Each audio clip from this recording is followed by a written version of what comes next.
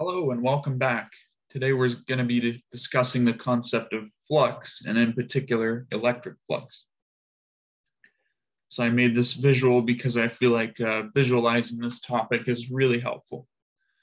So hopefully nothing's blocking the screen. So what I have going on here is two different cases and um, kind of two different views. I've got the side view here on the left and the front view on the right. And of course, case one is up here and case two is down here. Now, some important things to talk about before we jump in is um, a couple of ancillary concepts. One of them is going to be that there, there is a vector, the, the area vector. I know we typically don't think about area as a vector, um, but we represent it as a vector. And the area vector is always perpendicular to the surface at any given point. So as you can see here over in case one on the leftmost drawing, the area vector is perpendicular to the plane that we're uh, using to demonstrate a surface. Secondly, the concept of fletchings and arrowheads. As you can see, this is, this is a fletching. It's like looking at an arrow from behind, and this is an arrowhead, and that's like looking at an arrow from the front.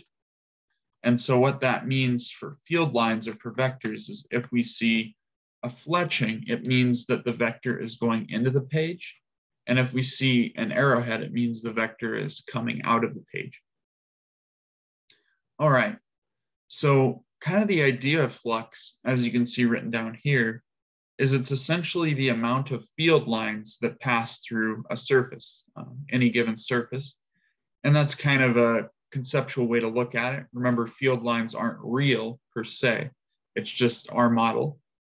And so, as you can see in case one, the um, surface or the plane in this case is perpendicular to the electric field lines. Whereas in case two down here, it's a, it's a skew. It's not perpendicular with the electric field lines. And as you can see up here, all of the E field lines are passing through the surface Whereas down here, you know, maybe one of them or more, depending on what that angle is, aren't actually penetrating and, and passing through that surface. So in case two, we would have less field lines passing through the surface than in case one. However, for this example, we're assuming that the electric field is uniform. So in other words, it's the same everywhere um, and it's constant value. And we're assuming that this plane is the same as the plane in case two. It's just the same plane has been um, tilted to where it's no longer perpendicular with the electric field lines. So for case one, um, by the way, this symbol right here is a, a capital phi, and I write a sub E uh, to represent the flux, the electric field flux, right? So in the future, we'll end up having magnetic field flux, and then we'll have a different uh, subscript for that. So in case one, it seems pretty straightforward. If we want to know the amount of electric field lines that are passing through a particular patch of area, we would take the electric field and just times it by the total area of our plane.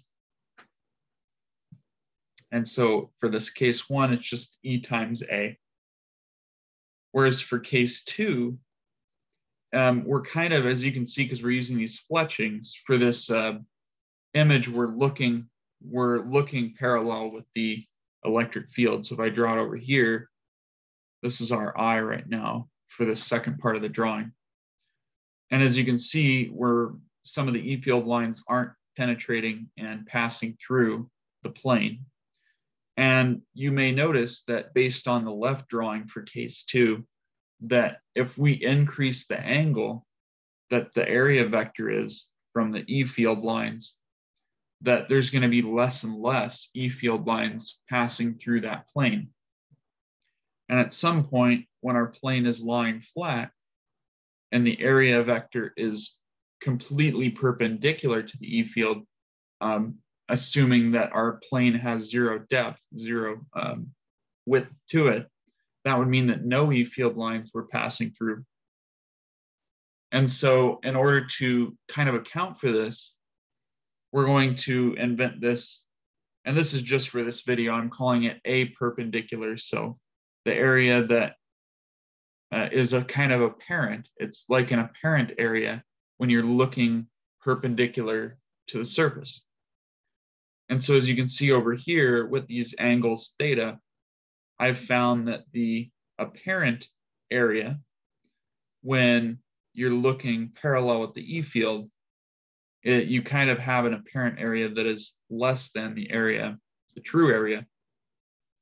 So as you can see, if this is theta, then and this is the height, then the apparent height when viewed from the other direction would be h cosine theta.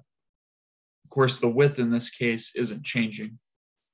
So for case two, to find our electric flux, we're going to take the electric field times that apparent area that um, is what it looks like how much area there is if you're looking at it you know you look at something from a different angle and it'll it'll appear as though it has a different area even though it doesn't that's why i made sure to uh, label it with a different subscript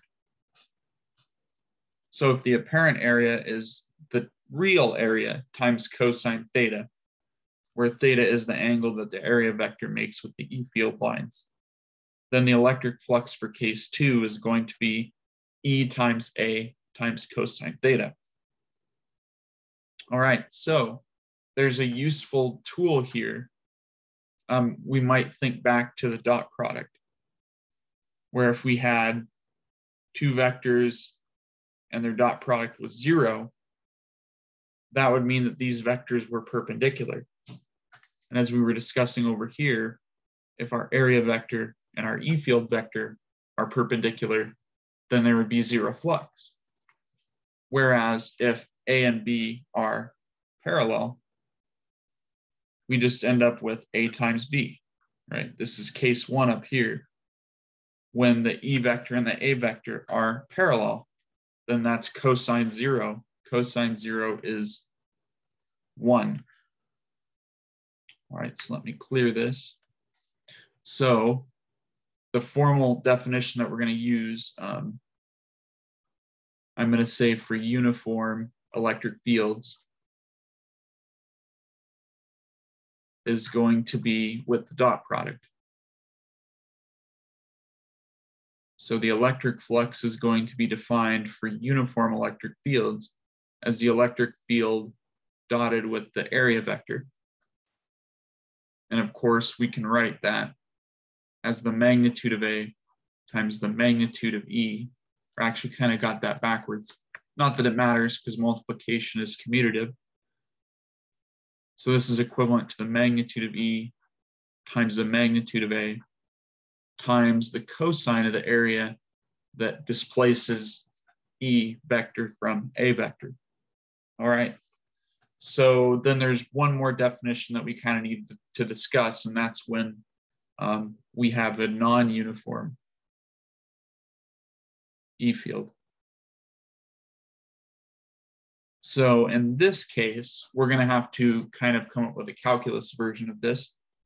And kind of like we've talked about in the past, um, if you put a differential on one side, you have to put a differential on the other side. So I'm going to write this as the, the small amount of electric flux is equal to the electric field dotted with the area infinitesimal or the, the little bit of area. So this might be nice. Um, well, heck, even if the E field is uniform, well, no, no, yeah. So if the E field is dependent on area, for example, if I had a charge here, and of course, the E field is spreading out radi radially, which means that the electric field strength is getting weaker with respect to the inverse of the radius squared. So here on this surface that I've drawn, we can tell that depending on where we're at on the surface, the E field is going to have a different strength. So the electric field here is not uniform across the surface. So essentially what we have to do at that point, let me draw this a little more like a surface. What we have to do at that point is we have to use calculus and we go down and we take a look at the, what we're gonna call dA vector. So this is dA and it is perpendicular to the surface at any given point. And then we would have to integrate this um, right here over the whole surface in order to get the flux through this surface. So of course, when we have differentials on both sides, we can integrate. And the integral of d anything is just that anything. So that leads us to the electric flux equals E dot dA. And this is a preference. Um, quite a few people will just write a single integral bar. And I like to write two just because it reminds me that this is a, a two, um, it's a uh, double integral because of course area is, you know, it's a length times length. So we would integrate twice um, for all such DAs, and then that would give us the total electric flux due to the particular electric field through the surface. So I hope this was useful to you, and I'll see you next video where we'll be discussing Gauss's law for electric fields.